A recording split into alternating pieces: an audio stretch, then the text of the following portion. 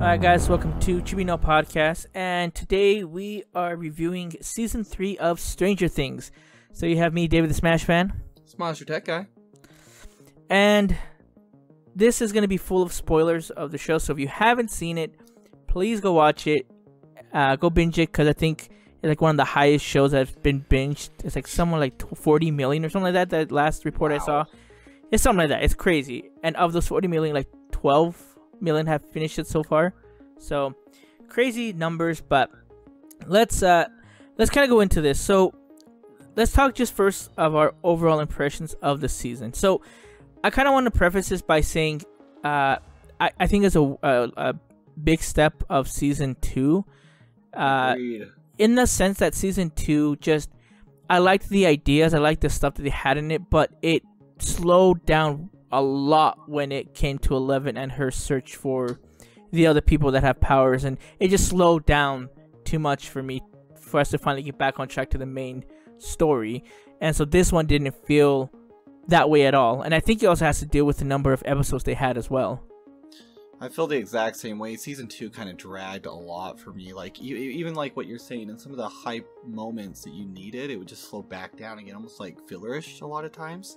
Where I Mhm. felt this season, I was kind of bored at first. Like the first two episodes, I was like, "Okay, let's move on out of this relationship stuff." But then, like I think around episode three, it just like climbed all the way to a finale. Did you get that too? Like it, it didn't really slow down after like the first couple episodes. Like they got you that character dynamic to kind of give you where the characters are after the few years, and then it just like the story just escalated crazy, never stopped.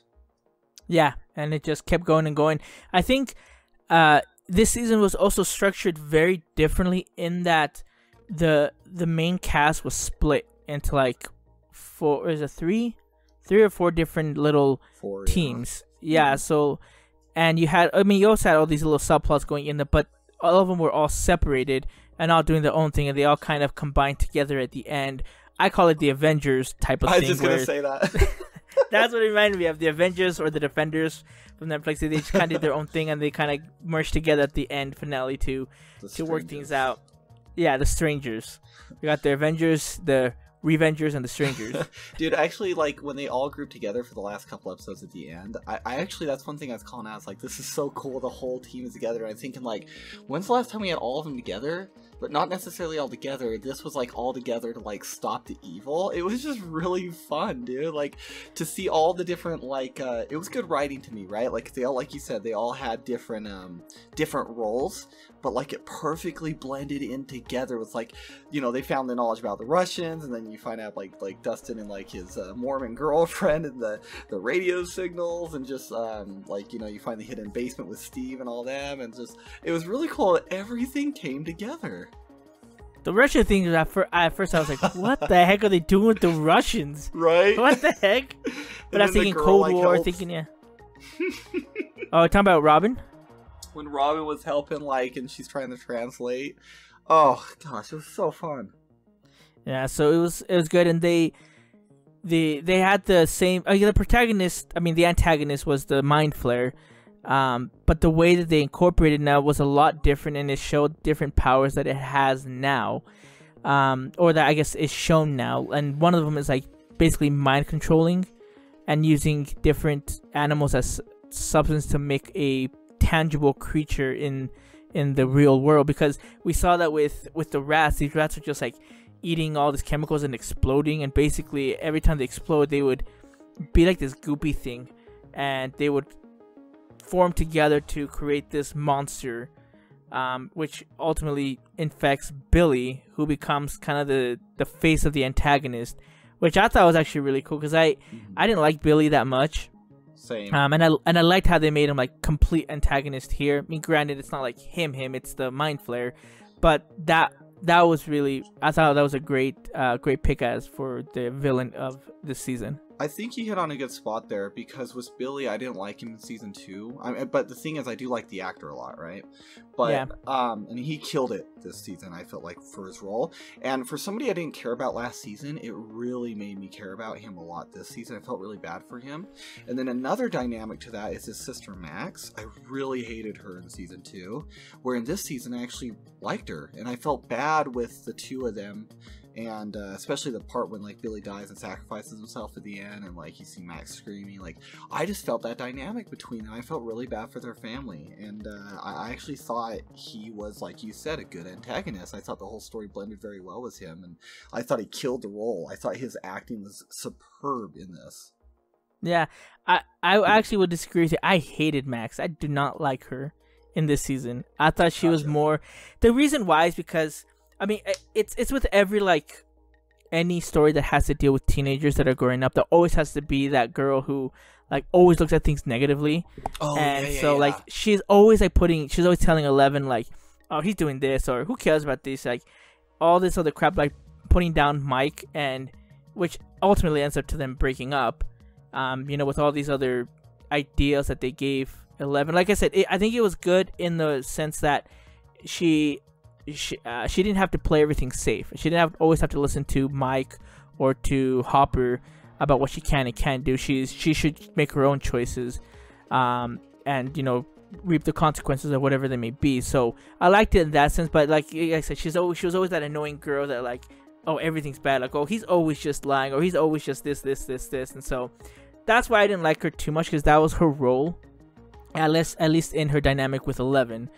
Um, yeah, let me agree with That you on me, that yeah. too. I, I, I guess, what I should have said is I, I didn't like her in the first part where it's more drama. I liked her more during the end.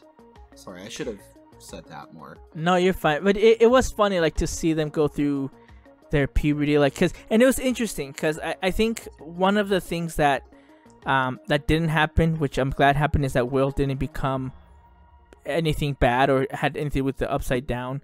Like, they actually gave him screen time, like, with everyone else. But it, it was Mhm. sad because I- guess, like, with all the stuff that's been happening to him, he has this, um, what's it called? I, I don't know if he's me- mentally has The spider Um, sense?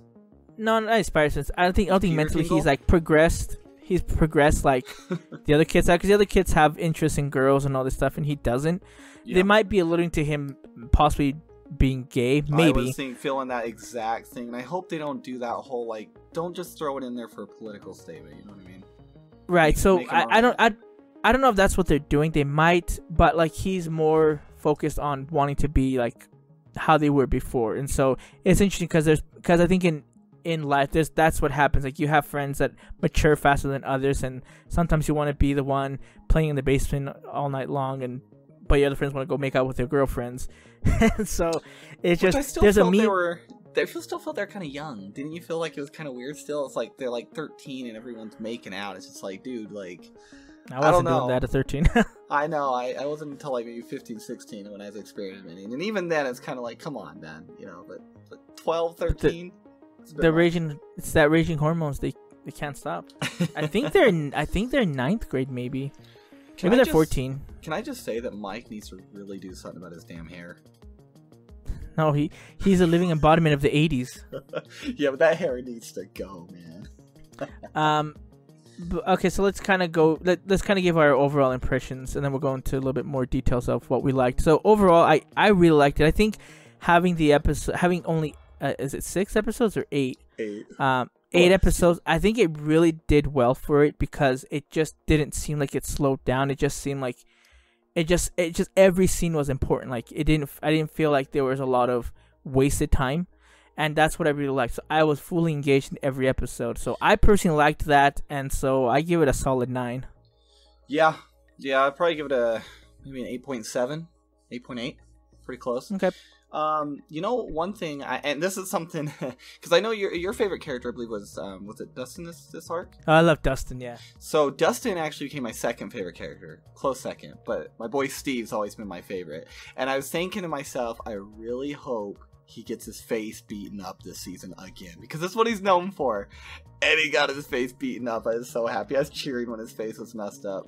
By those dang Russians. Those dang Russians. Speaking of that, how'd you like the Russians being the enemies? um, I felt like it's very 80s.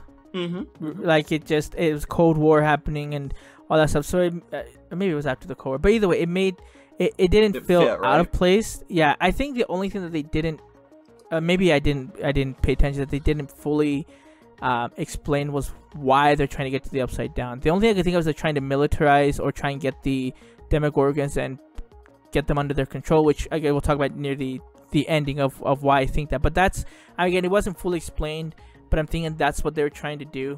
But it just again it wasn't like their main focus. It's just like the Russians are trying to up open it up. But but why? It's like know. But that was my that's Yeah, how I thought. I don't know if they on that, did they? yeah.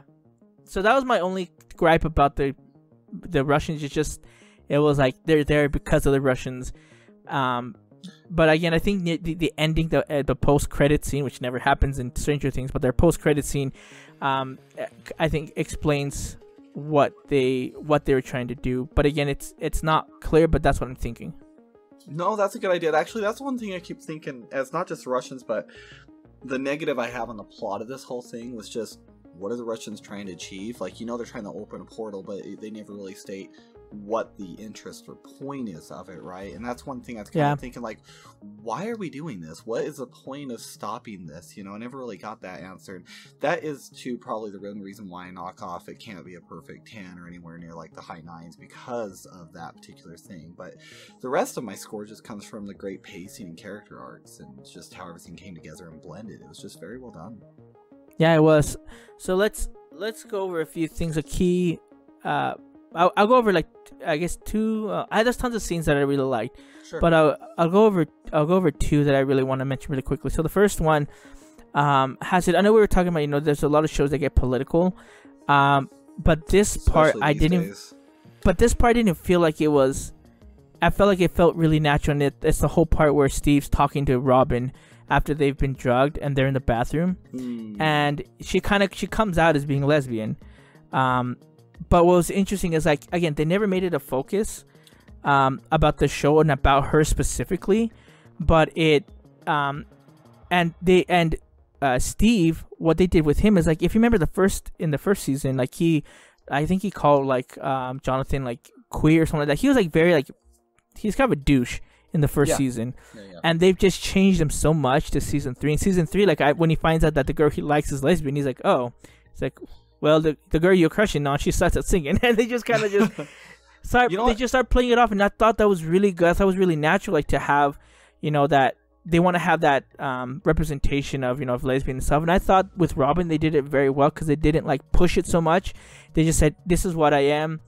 Um, and they just kind of kept going as friends, like, "Oh, that's cool, whatever." You know, on top of that, that scene, I and yeah, I was fine with it, but at the same time, I didn't like it. Not because of political anything. I have no problem with that. I, I actually like the connection development between all season with them that I was kind of hoping that would happen, you know? So it's kind of like, oh man, that's a letdown, that's a bummer, and I was really rooting for him, but then at the same time I looked at it, it's like, well, there's life. So, you know, that's life. They made it more realistic. And on top of the realistic part, the one thing I like about these kids is they're not all these glamorous looking kids. You know, they're they're and I don't mean this mean or disrespectful, but a lot of the characters in the show, these kids, they're very basic or average looking. They actually look like the real people on the streets, right? They're not these like Kate Beckinsales or Emma Watsons everywhere or something. You know, these are look like natural kids, and that's one of my favorite parts. Is like it makes it almost feel like these are real high school kids or middle school kids. These are these are the kids you would see in school and here they are in this show you know and and that dynamic they added with that lesbian tar that is something that's like life doesn't always go the way you expect it and these hmm. characters seem very real does that make any sense what i'm saying Yeah, it does. So And i like uh, yeah, and I'm glad that they're they're doing it. They're, they're approaching all these different um, subjects in just a great way. Um, and the second scene I wanted to talk about really quickly was the the finale has has got to be my favorite episode. Um, it's an hour and 17 minutes long, but the reason I love it is just because in the middle of the freaking episode, when all hell's breaking loose, they're being attacked by the mind flayer. Um, they need to get the coordinates for that constant, whatever, and so Susie finally picks up and does knew you were gonna bring this up. and and they and she won't give him the constant until he starts singing with her. And it's the freaking never ending story song from Limahl. And i could not stop bust up laughing. Turn around. Look at what you see. Turn around. Look at what you see. In her face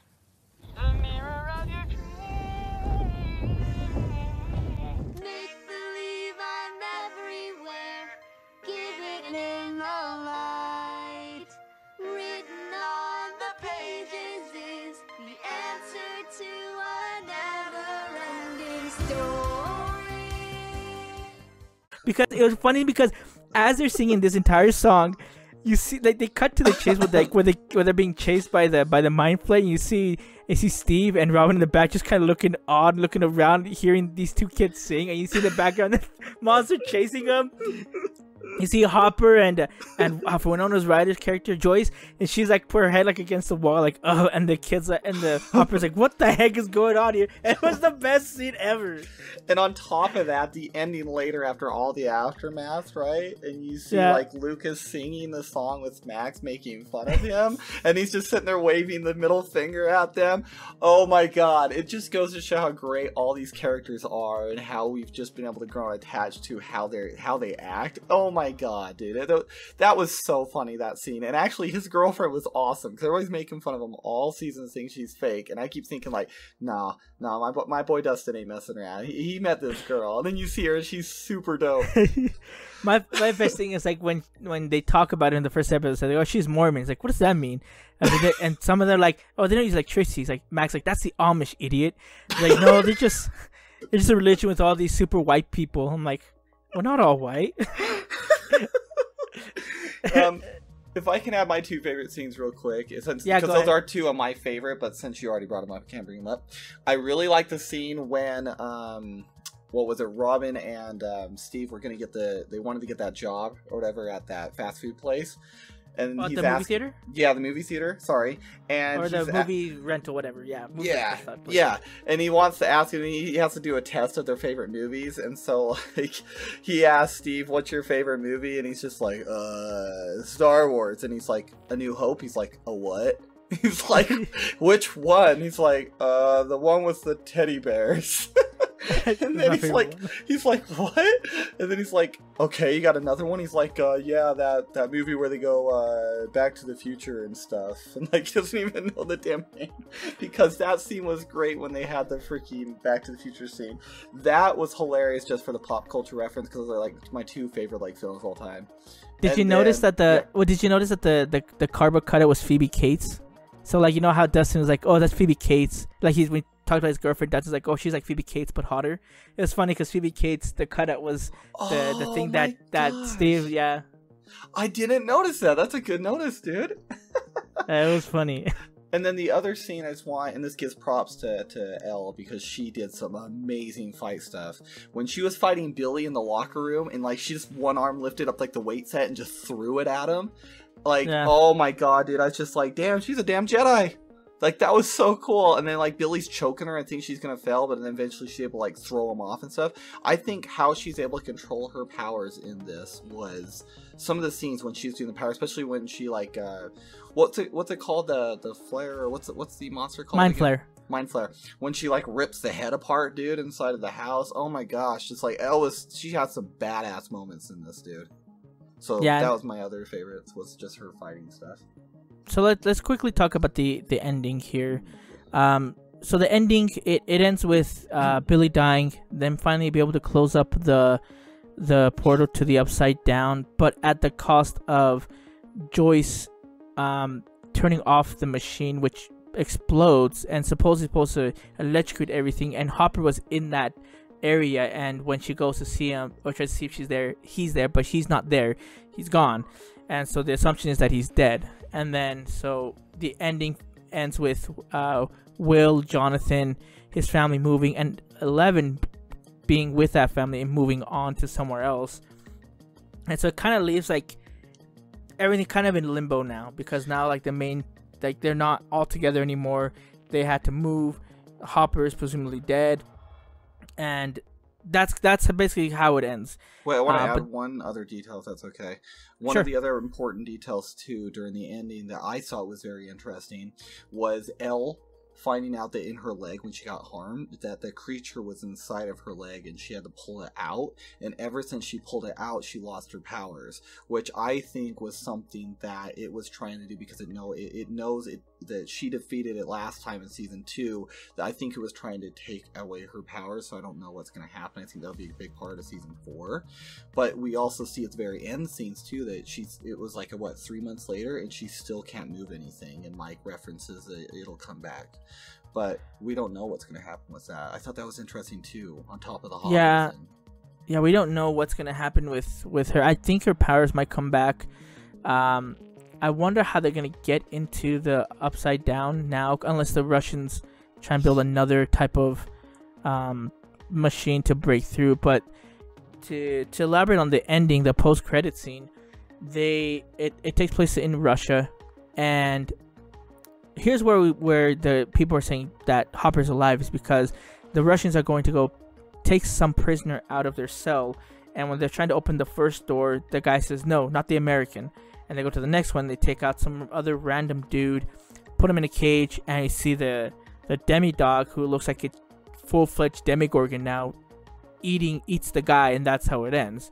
So the assumption here is that the the American is Hopper.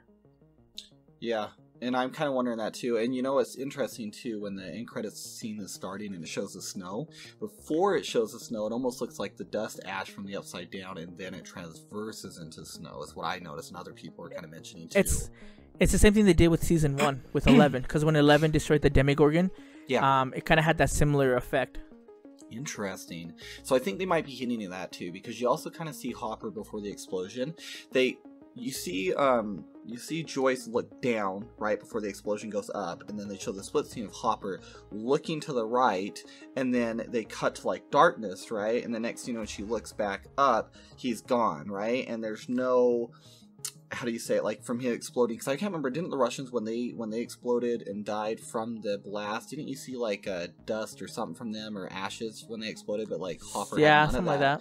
so like it, it, it makes me wonder if he's or he got if he jumped through the portal because he did he looked at it before he he, he did that because he's been through the upside down in season one or he jumped down below the balcony maybe some people maybe the russians grabbed him and took him away right at that scene because we didn't see like there had to be did they almost imply there was like a few seconds or even like 20 seconds maybe of something happening during that scene that we don't know. So he could have went through the upside down or the russians captured him. That's the only two things i can think because i think he's too viable of a character for them to kill off. Like he has to be coming back. There's no way he's not right? I mean did you feel that way? Yeah, I think the the the biggest theory is that he that he got either pulled into the upside down or jumped into the upside down, and that the Russians found him in there and then captured him. Then, um, the only the only thing I have an issue with it is bec- is that they, I think the mind flayer would have used that time to get out as soon as possible if they had opened it up, um, because and and the reason I think that they didn't go through the they possibly didn't go through the um what's it called? The uh, upside down is well it's, it's, it's basically that because it, it it implies that the russians have to have gone somehow gone in, in and got back out which we don't we know that they there are certain um portals that are open right because like that's how will and um the other kids got through because there was like a the I can't remember- whatever right yeah, so there are ways to get into it. Um, I think, and maybe that's why Hopper went in there. But some, I think the Russians found a different way. They didn't have to open up the the portal. Uh, what I Mhm. want to find out is about the is about the Demidog because they were all connected to the Mind Flayer, right? I mean, I would think so because of the, I think they imply that just because of season three is all like the host controlling. Right. So I'm wondering how this demi dog or this demi gorgon is alive. Um, because I know there's a Demigorgon in the be- in the first episode. I mean, the first season, um, kind of doing its own things. Um, What if it's part of the thing that was in Elle's leg? That could be it, but didn't it go back into the the Mind Flayer's monster thing? I, all I remember is when she got rid of it, she um, pulled it out of her leg and then threw it, and you see it like hit like the wall or car or something like that. That's all I remember though. But I thought it would it would die as well because once the portal was closed, the entire Mm. monster just died. So I don't know Yeah, if this is like its point. separate. I don't know if it's its separate thing or if they if the portal is somewhere open, but the Mind Flayer is just biding its time and letting the Russians use the Demidog, or maybe seeing that's their best way to kind of create chaos and then for him to come through and finish off everyone else, whatever he wants, he or she or it wants to do. So, uh, too many. This I guess there's too many possibilities of what it could be, and we need more answers. We just, I just know that there's going to be a season four for sure, um, uh, because of the way that they that they left it off. So, Yeah, good points. but yeah, I think I think that's. I mean, I, could- I think we could talk forever about what what happened in the show because there are tons of good parts. They had Lucas's sister in there, which was awesome. They had tons of Terminator references in it, which was amazing. That one Russian reminded me of Arnold. Did you feel that way too? Yeah, that one or when the or when um when uh, Nancy and Jonathan are running in the hospital from the mind flayer from the guys at the at the uh, press office or the press place, like the way he just walking normally, just kind of reminds me of the Terminator when all of them were running and the and the TX that whatever the TX one thousand is just kind of just walking normally to them. Like it was just I felt it that was way, too. awesome. I miss. I hated that the Russian guy died too. Uh, Smirnov. Oh, he was awesome. Yeah, he was, awesome. I love that they called him Smirnov, dude. I was laughing so hard at that. I felt bad I love- for him. I love how they called Murray Bald Eagle. That was awesome. Oh my gosh, yes, and he didn't want to respond to it at first. Oh, it was so Yep. cool. It's just a really fun season, man. I had a lot of fun this season. Yep, go watch it. It's again, it's it's only eight episodes, but they go by quick, and it's a, there's a reason why people are binging it nonstop because it is just and you just keep wanting more and more. So yeah, let us know what you guys thought about the about the season. If you liked it, if you disliked it, tell us what your favorite uh what your favorite uh part was. And follow us on Facebook, we're Chibi No Podcast, on Twitter at Chibi No Podcast, capital C, capital N, capital P. So yeah, and our YouTube channel, Chibi No Podcast. So signing off, this is David the Smash Fan, Maju Tech guy. and this is Chibi No Podcast.